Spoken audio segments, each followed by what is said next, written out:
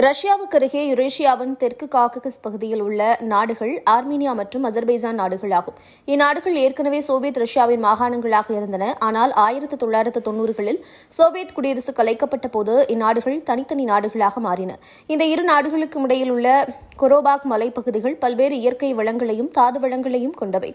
இப்பகுதியில் இரு நாடுகளும் சொந்தம் கொண்டாடினாலும் இப்பகுதி முழுவதும் எங்களுக்கே என்று பல வரலாற்று கதைகளை கூறி அசர்பைசான் அந்த பகுதியை அபகரிக்க முயல்கிறது. இஸ்லாமிய நாடான அஜர்பைஜானின் முயற்சிக்கு துருக்கி பாகிஸ்தான் உள்ளிட்ட நாடுகளின் ஆதரவு உள்ளது. ஆனால் வெறும் முப்பது லட்சம் பேர் மட்டுமே கொண்ட கிறிஸ்தவ நாடான ஆர்மீனியாவுக்கு ரஷ்யா பிரான்ஸ் அமெரிக்கா போன்ற நாடுகள் நடுநிலைமையிலிருந்து கொண்டு ஆதரவு குரல் கொடுத்தாலும் அவை பக்கபலமாக வந்து நிற்பதில்லை. இதற்கு காரணம் ரஷ்யாவுக்கு ஏற்கனவே தாது வளம் ஏராளமாக உள்ளது. அந்நாட்டில் கண்டறியாத வளங்கள் எக்கச்சக்கமாக அதன் தூர கிழக்கு பகுதிகளில் உள்ளன. ஆனால் அதற்கு கொரோபாக் பகுதிகளில் அதற்கு நாட்டமில்லை. எனவே இந்த விவகாரத்தில் தலையிடுவது வீணானது என்று நினைக்கிறது. அதேபோல அமெரிக்காவும் ஐரோப்பிய நாடுகளும் நினைக்கின்றன. மேலும் இந்த விவகாரத்தில் நேரடியாக தலையிட்டு ஐரோப்பிய நாடுகளில் ஒன்றான துருக்கியை பகைத்துக் கொள்ளவும் அவை விரும்பவில்லை. இதனை ரஷ்யா மற்றும் அமெரிக்காவின் பலகீனங்களாக கருதும் துருக்கி மீண்டும் இந்த பகுதியில் ஒரு இஸ்லாமிய கூட்டணியை தனது தலைமையில் உருவாக்கும் நோக்கத்தில் அசர்பைசானுக்கு ஆதரவளிக்கிறது. அத்துடன் அந்நாட்டுக்கு தேவையான ஆயுத உதவிகளையும் அளித்து வருகிறது. இதனால் கடந்த இரண்டாயிரத்தி இருபதாம் ஆண்டில் அசர்பைசான் ஆர்மீனியா மீது கடும் பீரங்கி தாக்குதல்களை தொடுத்தது. பதிலுக்கு தாக்குதல்கள் நடத்தினாலும் ஆர்மீனியா கடுமையாக பாதிக்கப்பட்டதுடன் ஆயிரக்கணக்கில் அந்நாட்டு மக்களும் வீரர்களும் உயிரிழந்தனர். இதனையடுத்து ரஷ்யா அமெரிக்கா பிரான்ஸ் தலையிட்டு சண்டை நிறுத்த ஒப்பந்தத்தை ஏற்படுத்தினர்.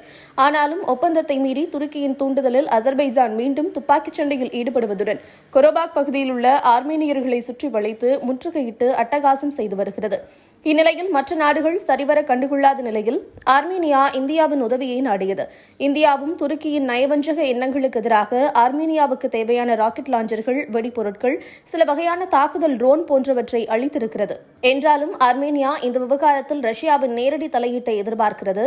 ரஷ்யா நடுநிலையாக இருக்கக்கூடாது என்றும் தங்களுக்கு ஆதரவாக களத்திற்கு வர வேண்டும் என்றும் அப்படி ரஷ்யா வந்தால்தான் அஜர்பைசானை அடக்கி வைக்க முடியும் என்றும் நினைக்கிறது. ஆனால் ரஷ்யா அந்நாட்டுடன் போர் பயிற்சிகளில் ஈடுபடுவதுடன் தனது கடமையை முடித்துக் கொள்கிறது. இந்நிலையில் ரஷ்யர்களின் மேலுள்ள நம்பிக்கையை தாங்கள் இழந்துவிட்டதாக ஆர்மேனியர்கள் கூறுகின்றனர். சமீபத்தில் அந்நாட்டில் எடுக்கப்பட்ட மக்கள் கருத்து கணிப்பில் பெரும்பாலானோர் ரஷ்யா மீது தங்கள் வெறுப்பையும் அவநம்பிக்கையையும் காட்டியுள்ளதாக செய்திகள் கூறுகின்றன. ஏனெனில் சோவியத் ரஷ்யா உடையும் போதே சரியான முறையில் எல்லை பிரச்சினைகளை தீர்க்கவில்லை. சிக்கலை உண்டாக்கிய ரஷ்யர்கள்தான் இந்த சிக்கலை தீர்க்க வேண்டும் என்று விரும்பினர். ஆனால் அது நடக்காததால் இப்போது ரஷ்யா மீது அதிருப்தி கொண்டுள்ளனர்.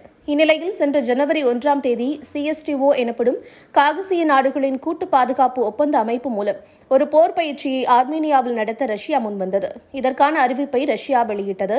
ஆனால் சென்ற மே நவம்பர் மற்றும் செப்டம்பர் மாதங்களில் ஆர்மீனிய எல்லைக்குள் அசர்பைசான் ஊடுருவதை கண்டிக்கும் தெளிவான அரசியல் மதிப்பீடு ரஷ்யாவின் சிஎஸ்டிஓ பிரகடனத்தில் இல்லை என்று கூறி ஆர்மீனியாவின் பிரதம மந்திரி நிக்கோல் பஷினியன் மறுத்துவிட்டார். இந்த ஆண்டு ரஷ்ய தலைமையிலான ராணுவ போர் பயிற்சிகளை தனது நாடு நடத்தாது என்றும் தெளிவாக கூறிவிட்டார்.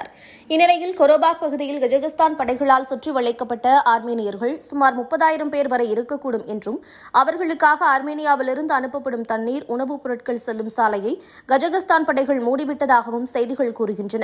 இதனால் பல்லாயிரக்கணக்கான ஆர்மேனியர்கள் உயிரிழக்கும் சூழல்கள் உருவாகியுள்ளதாகவும் இது ஒரு வகை இன அழிப்பு போர் என்றும் பத்திரிகைகள் வர்ணித்துள்ளன. போர் மேகங்கள் சூழும் இந்நிலையில் ரஷ்யா பாராமுகமாக இருப்பது நல்லது அல்ல. புதினின் இந்த செயல்பாடு வரலாற்றில் ஒரு தவறை ஏற்படுத்தியதாக ஆகிவிடும். உடனே அவர் தலையிட்டு ஆர்மீனியாவை காப்பாற்றுவதுடன் நமக்கான ஒரு ஆதரவு தளம் நம் கையை விட்டு போகாமல் பார்த்து கொள்ள வேண்டும். இல்லை என்றால் ஆர்மீனியா நம் கையை விட்டு நழுவிவிடும் என்றும் வல்லுநர்கள் எச்சரித்துள்ளனர்.